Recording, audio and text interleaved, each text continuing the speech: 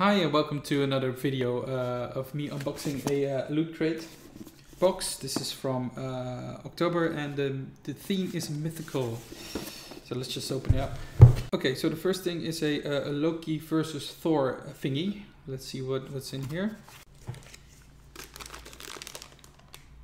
You, can, you cannot really see it, but this is uh, like a, a, a couple of statue thingies with a with a with a stand. So I'm just gonna assemble this right now.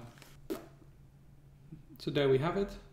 It's uh, Thor about to kick Loki's ass.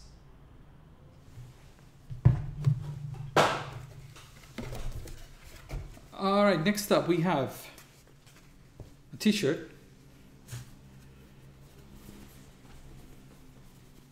A Ghostbusters t-shirt.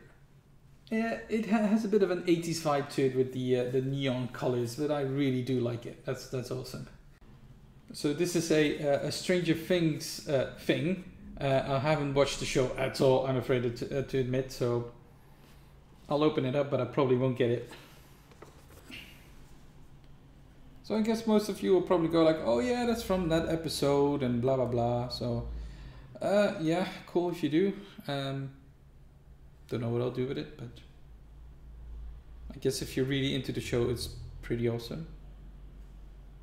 I guess. This is the pin. Like I said, it's a mythical theme apparently. Now this is something I like. This is uh, Buffy the Vampire Slayer uh, bookmarks. I'll just uh, take one out. I got two of them as you can see.